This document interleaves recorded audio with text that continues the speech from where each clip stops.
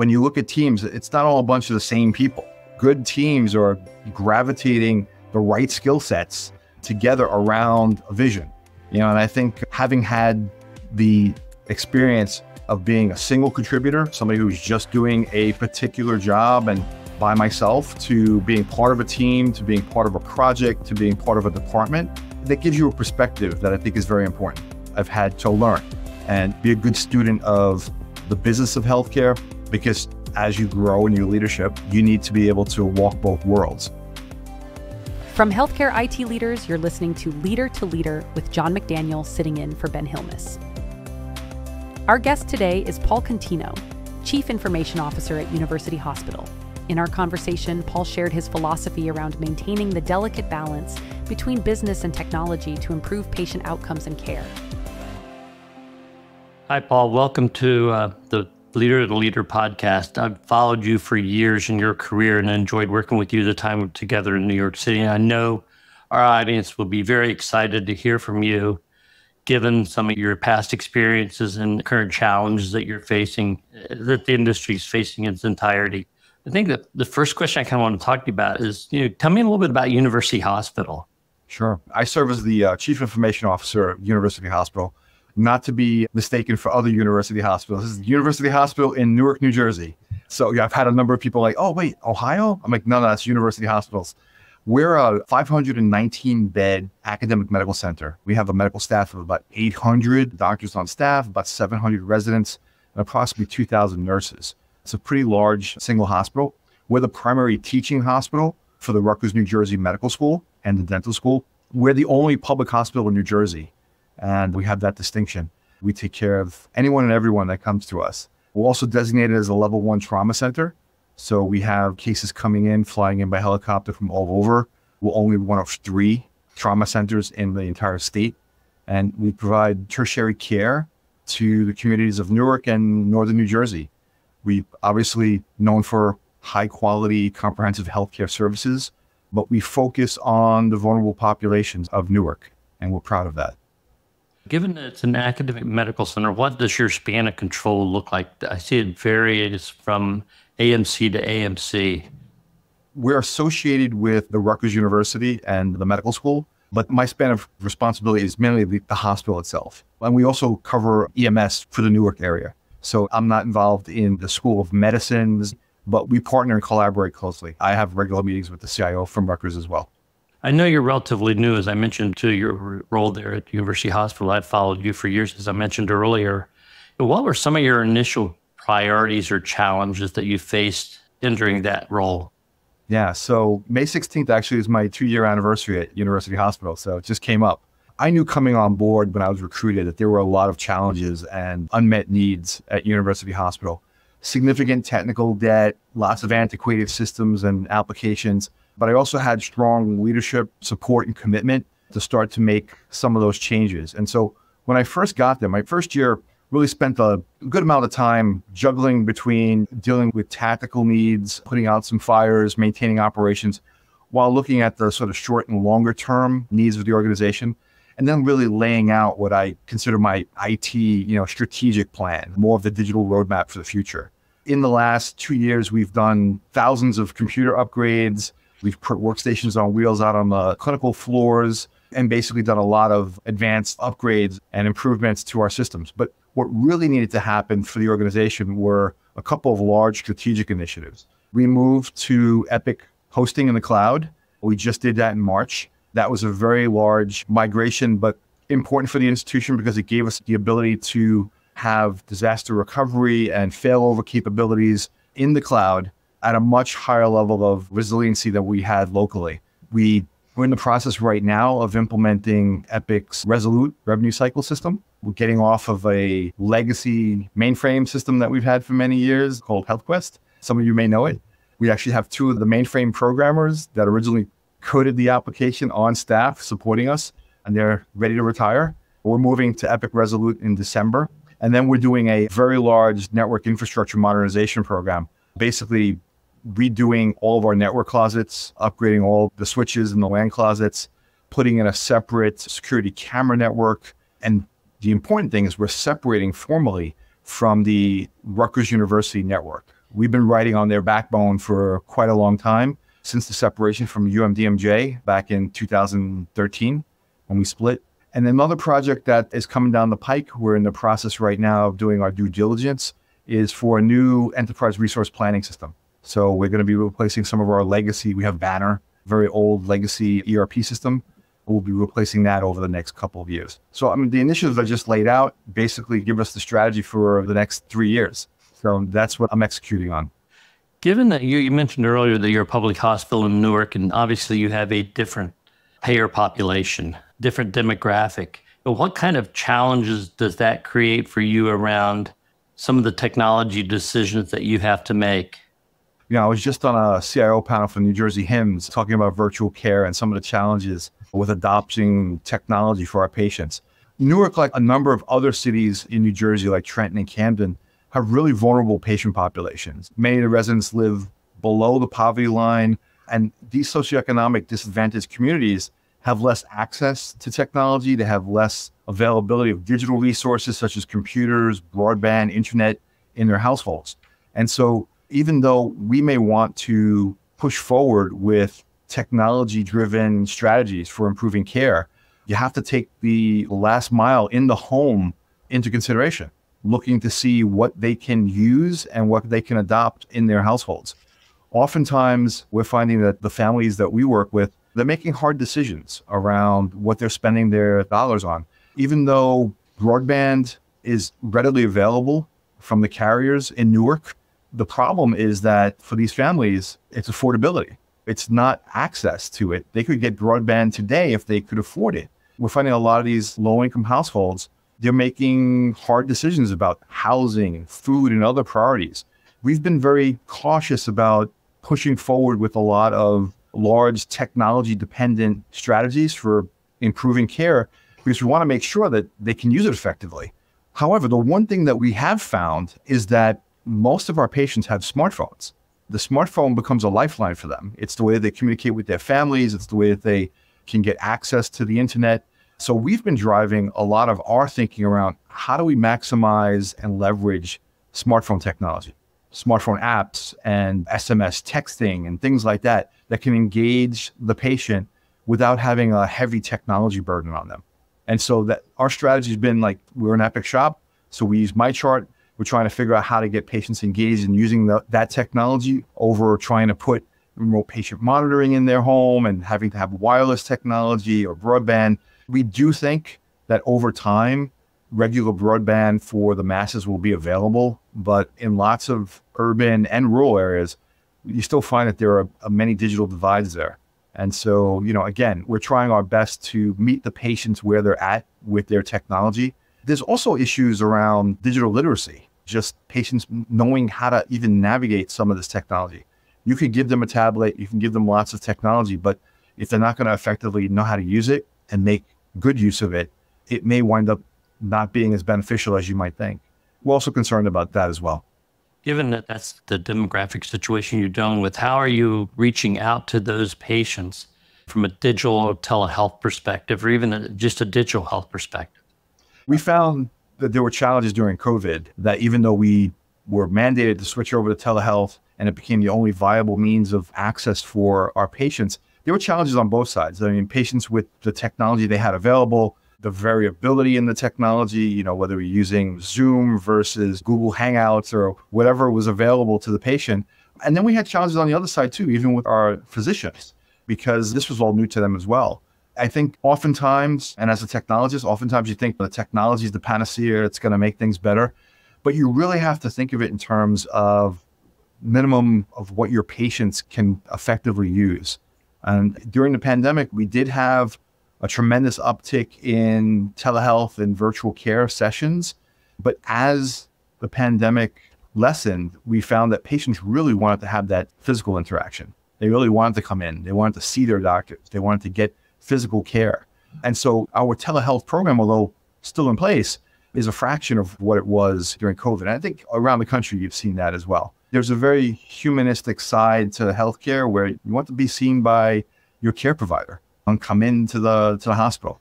Although the very valid reasons for virtual care and giving people access and increased capability to get medical treatment, there's still a very personal side to it where our patients want that connection with their care providers.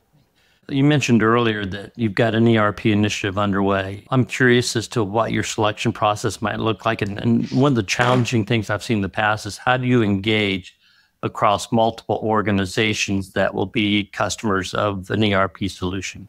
Yeah, I mean, ERP is an interesting platform because it really touches just about everything in your organization, aside from clinical care.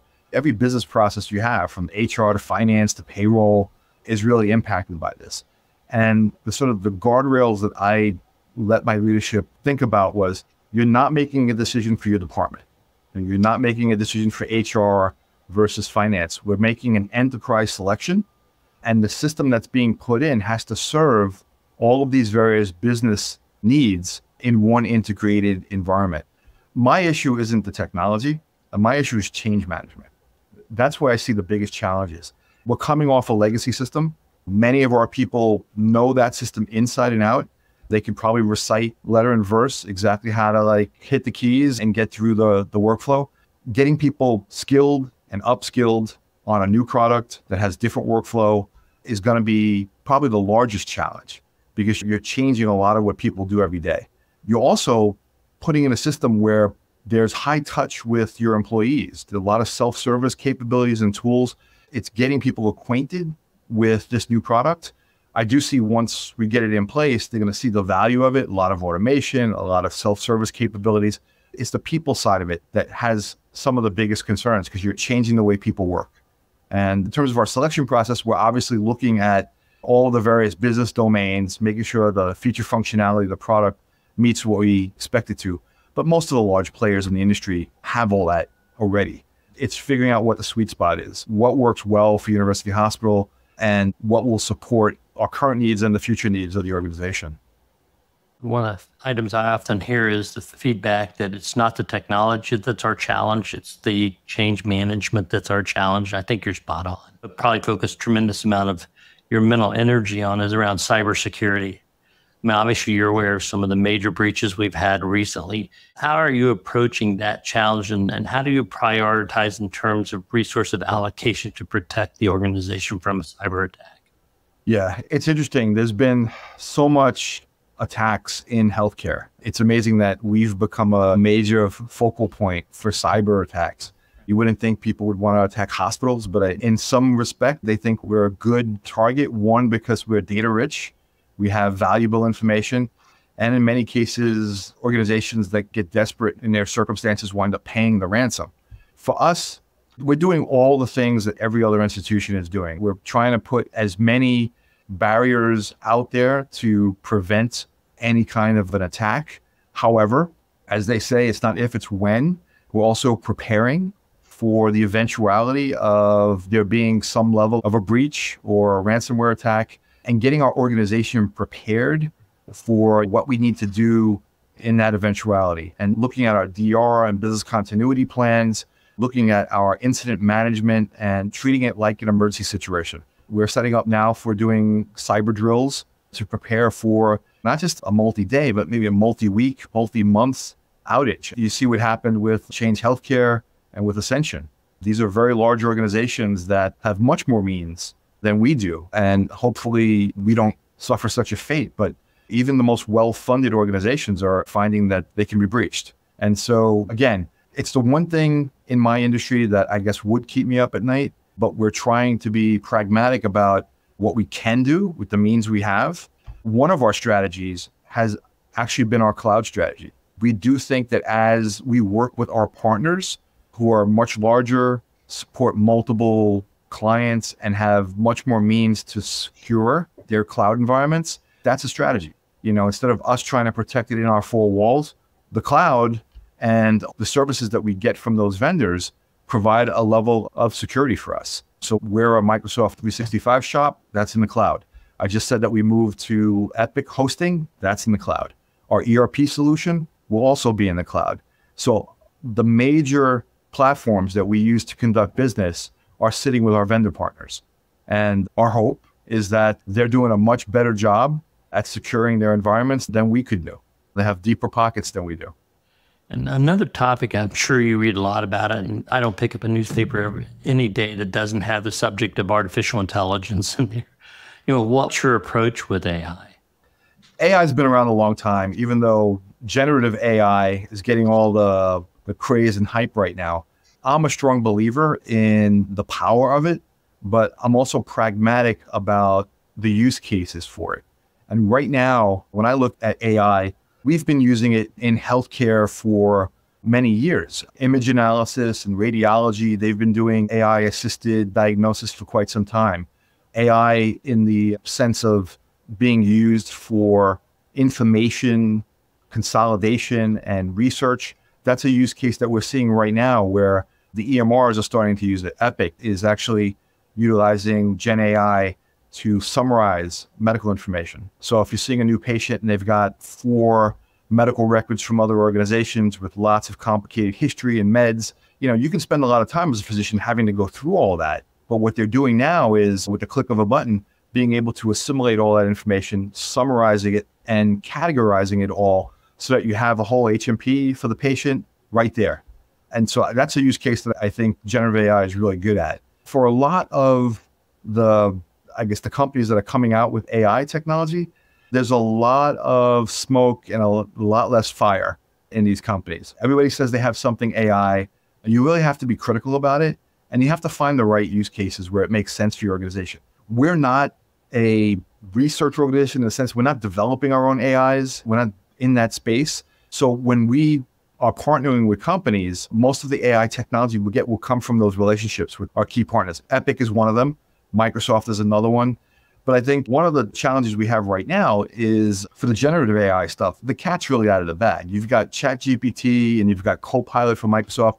You know, our employees are already using that stuff. I mean, whether we gave them permission or not. So what we're trying to do now is educate and put policy framework around the use of those tools. What we don't want is the leakage of private or out on some of these platforms we want to make sure that people are, are using this responsibly. And so that's part of the work I'm doing right now is looking at sort of the policy compliance stuff and educating our employees.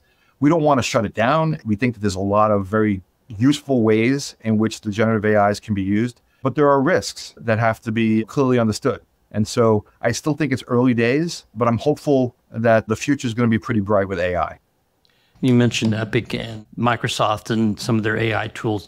Do you have a process in place to start to evaluate those to understand the impact they would have on your patients, your employee population? So, two different environments. So, on the clinical side, with the EMR, we've obviously had a lot of discussions with our chief medical officer and chief nursing officer about what's coming in the product because there is a whole roadmap that Epic has for their AI tools. We've been somewhat conservative and slowly starting to look and evaluate how these integrate into workflows. And Epic has been doing this with a lot of companies around the country to really fine tune the tools. The one area that's pretty mature in the AI space is not generative AI, it's traditional AI, has been all the predictive models. So we're actually evaluating and we've been running tests on a number of their predictive risk scoring algorithms for sepsis and readmissions and falls risks that can be incorporated into the clinician workflow and help with revealing patients that are potentially at risk for these various factors. Many institutions have already used them for many years. That's pretty stable. The generative stuff, still trying to make sure we find the right use cases because it can be a little bit of noise in the system. These tools for everything and um, not being effectively used. So we're looking carefully at them. On the business side, we're seeing Microsoft putting Copilot into everything. There's a Copilot for, for every single product they have. I've been a little skeptical as to how well those will work for all those different tools. However, I do think that there's a lot of potential in Microsoft's Copilot in helping to find and surface information that's available to you in, say, your portal, your Microsoft portal. And we've been actually playing with that for a couple of months now. Paul, let's talk a little bit about your career journey. You've had a number of interesting jobs, and, and your background is extremely interesting. As I said earlier, I followed you for a number of years. You're kind of a self described lab rat. Take us back to those early years and tell us how you found your way into the CIO seat. Yes, I mean, I've I've always been a science geek. High school and I went to Bronx High School of Science. I wound up studying biochemistry. I'm a biochemist by training. I did about 12 years of bench research, and biomedical research at Mount Sinai, and was just about ready to head into graduate school for my PhD when I had an, a very interesting offer. The chair of medicine at Mount Sinai actually came to me and said, Hey, look, we want to set up an IT department, and you're the most technical person I know says, Can you help me put together a proposal for what we would need and who to hire? And he let me put that together. And I had a really good time creating sort of the structure for this. And then I went to him and said, I think I'd like to do this. And he goes, But Paul, wait, you're going to go to graduate school? You want to get your PhD? You're a researcher. Would you? I said, Yeah, I think I'd really like to do this. And it seems like a big switch between being a biochemist and being a, an IT person. But the research that I was doing was very technical. I did a lot of instrumentation development, clinical instrumentation development. I did a lot of programming and electronics. I developed all the software for the instruments. As I said, the geek in me, the technical side of me, really gravitated towards the potential of setting up this new department. And so that's how I got my start.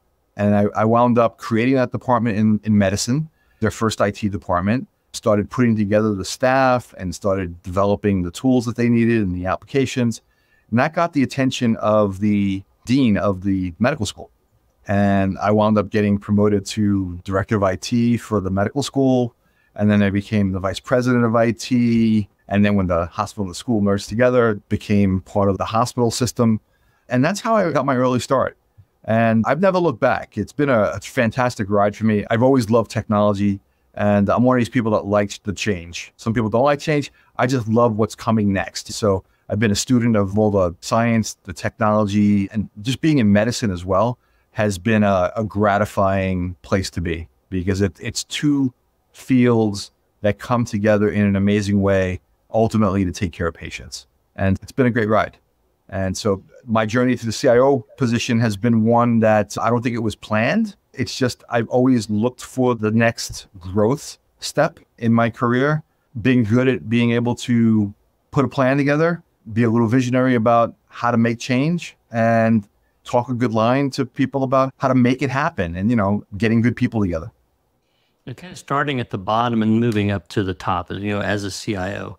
How did that kind of influence the way you think about leadership? And, and as you started to build your team, around you. How did that enable your thought process? So, you know, I think coming up the ranks has a lot of benefits because I've had firsthand experience with most of the roles that my staff have. And so it gives you sort of that immediate credibility with the groups that you're trying to lead. They understand that you know their jobs, you know what they do, and it allows you also to have a better perspective on how to put teams together. When you look at teams, it's not all a bunch of the same people good teams are gravitating the right skill sets together around a vision. You know, and I think having had the experience of being a single contributor, somebody who's just doing a particular job and by myself, to being part of a team, to being part of a project, to being part of a department, that gives you a perspective that I think is very important. Now, the one deficit that I had in that journey is I was very technical. So I didn't have all the business exposure. And so that's something over the years I've had to learn and be a good student of the business of healthcare, not just the technology in healthcare, because as you grow in your leadership, you need to be able to walk both worlds. And I'm talking to business leaders as well as technology folks, but being able to walk the line between those two has been incredibly useful. Yeah. And I've enjoyed the path. Given that, what do you think your greatest strength as a leader is? I mean, you've got a lot to build on. Yeah. Yeah. Well, you know, when I reflect on my career and my leadership journey, I think the, the strengths that I've relied on that have made me successful is that one, I think I've just been naturally curious. I've always been curious about how things work. I guess it's an engineering mindset, but the ability to break down complex problems into more basic components. I always tell people I'm good at connecting the dots between the problems that people have and being able to critically think about solutioning. And I think that's a really important skill set. It's also important for getting people not to be intimidated by the problems that are in front of them. And I'm always telling my staff before you come to me with a problem, please spend some time thinking about what you think is a solution, because then I want to talk it through. But I think that's been a real strength of mine, just having that engineering mindset and critical thinking. I've also spent a lot of time listening and learning from others. I think that's imperative. I've had some really great coaches and mentors over my career. You know, I've encountered some toxic individuals, but you know, you learn from both good and bad. And I think that's just important to always be a lifelong learner. And I will say, I think the one thing my wife credits this to me all the time having a positive mental attitude. You just, there's, there's highs and lows throughout life, throughout your career, but being very positive and not letting the circumstances around you get in the way of your success. And the one thing I will finish with is I've always gravitated towards a servant leadership mentality. You know, it's putting others first, caring for your team, being involved in the lives of, of the team that you have. And it can be lonely being the leader if you're the one who's going to make all the decisions and put all the responsibility on your shoulders. It's a lot more fun when you've got a team that you respect, that they respect you, and you work hard together and you get great things done. If there was one attribute you were thinking about that you really wanted to work on from leadership, what would that be? balance. I think one of the hardest things is that you can get distracted and being pushed professionally and personally in so many different directions. You've got to be mindful about the choices you make and find the right balance in your life because at the end of the day, you have to make decisions and you have to make choices, but you have, you have to try to make the right ones. I always reflect on that Peter Drucker statement. Management is doing things right and leadership is doing the right things in my life, I've always thought, how do you make sure you're doing the right things? Paul, thanks for this outstanding conversation. I know our audience is going to benefit greatly from your experience, your knowledge, and your wealth of skills. It's greatly appreciated, and I look forward to continuing our working relationship in the future. Thank you very much. Appreciate the time. Thanks again. Thanks. Mm-hmm. Take care. Paul's journey from his start in biochemistry to his role as CIO at University Hospital is inspiring. Here are my top takeaways from our discussion. One, juggling technology and business isn't easy, but Paul speaks candidly about overcoming this obstacle. By immersing himself in the business of healthcare, Paul broadened his skill set beyond mere technical expertise. Two, telehealth skyrocketed during the pandemic, but maintaining its momentum comes with its own set of challenges. Paul's team is meeting those challenges head on with innovative solutions like leveraging smartphone technology to bridge digital divides. Three, AI isn't just a buzzword, it's becoming a game changer in healthcare. From image analysis to medical record summarizations, the practical applications are numerous. So, what did you think? What were your big takeaways from this episode? I'd love to hear from you on our social media channels or drop me an email from our website at healthcareitleaders.com. Thanks for joining us for Leader to Leader. To learn more about how to fuel your own personal leadership journey through the healthcare industry, visit healthcareitleaders.com. Don't forget to subscribe so you don't miss any insights, and we'll see you on the next episode.